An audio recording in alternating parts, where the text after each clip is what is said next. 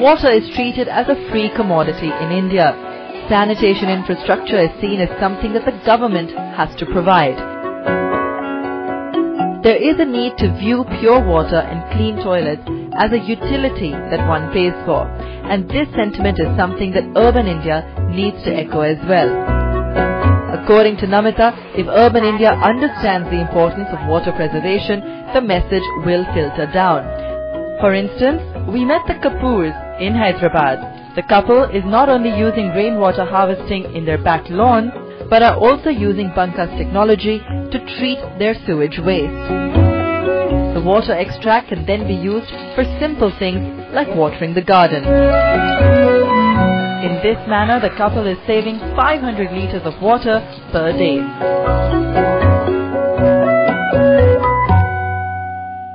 We realized that this water, which would normally be wasted, can be used for maintaining our gardens and lawns and vegetable patch. And we don't have to use good water for that. We run it for about 45 minutes and with a good force uh, we get water and that waters all this area, you know, and even a vegetable patch. Water which is coming out of, what shall I say, the used wastewater, it's going waste. Now it isn't. Now it's being used in this lawn, in this house, and when it goes into the ground also it's charging the groundwater. So we think it's uh, a much uh, better idea than just having somebody come and take it away. You know, Namita, you moved to Hyderabad about five years ago. Yes. And before that, uh, you were actually doing some jewelry designing from home as well, which uh, even even in that, I think you were quite a hit with your uh, family and friends. So is the is the entrepreneurship zeal um, a part of you? Is it a natural uh, instinct, or uh, is it just something that you thrive on? Yes, I just thrive on business because that's what I want to do. And I, I tried doing some jobs, but I never stayed anywhere more than a month. And ultimately, I found that uh, entrepreneurship, doing business, is my my choice and my passion actually.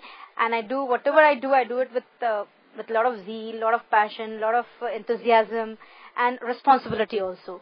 So that's that's entrepreneurship. Basically, uh, is always what I wanted to do on my own, of my own, something of my own. Whatever I do, I make it uh, up to the level where I, I think I have achieved something.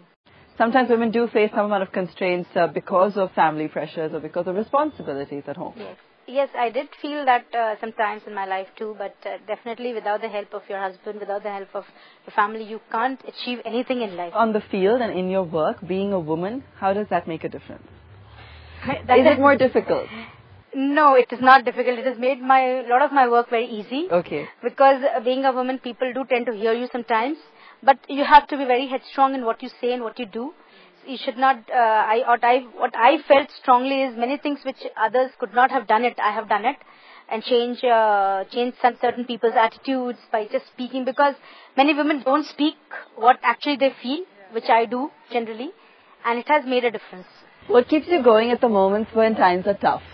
Uh, you know, because there must be a temptation. There must, you must have thought about it once or twice. That, oh, why am I even bothering to go through all this effort and these pains and struggle to get, you know, the word out and educate people? What do you do then? It is. Uh, sometimes I do get upset. Sometimes I do feel the pressure too much. But when I get up the next morning, I think I have uh, I have grown from two people to 35 people, and they're all dependent on me so I can't quit and I shouldn't be thinking about it. And that the people who are motivating me and they are with me, helping me out and growing, uh, they motivate me a lot. It is not easy. Like when you when you are just thinking, you just can't quit. You know, in one day time. When you've started something, you need to finish it off, and that is where uh, my work stands stands out. And I want to carry on for at least.